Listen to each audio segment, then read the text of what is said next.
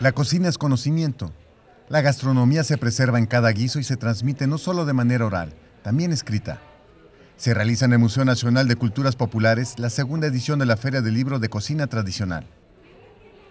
En esta emisión de la feria eh, se presentan más de 3.000 títulos, todos relacionados con cocina tradicional, no solo de México, también de otros países. Eh, también vamos a encontrar expoventa de productos eh, tradicionales y utensilios, productos y utensilios tradicionales.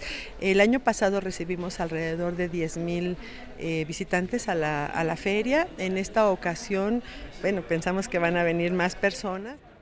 En esta ocasión participan más de 25 editoriales y distribuidoras, incluidas algunas casas editoriales de Argentina, Chile, Colombia y Cuba. Todos los títulos que se presentan están dedicados a la cocina tradicional, gastronomía y temas relacionados.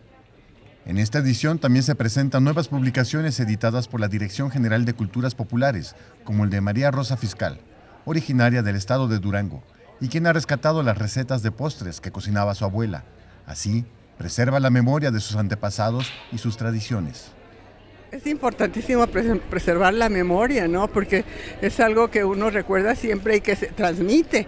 Yo, por ejemplo, bueno, no tuve hijos, pero mis primas les han transmitido a sus hijas también todo eso, aunque han ido variando las costumbres, porque todas estas preparaciones requieren mucho tiempo, mucho esfuerzo, gasto también, algunos productos son ya muy caros, ¿no? Pero sí se transmite como no, y al menos queda el recuerdo y se dice, ay, te acuerdas de esto y todo, o sea, sí es importante.